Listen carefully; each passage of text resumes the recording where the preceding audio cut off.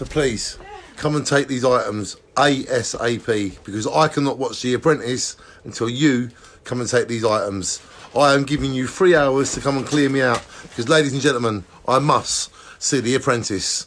Merry Christmas, everyone. Shine on. You right?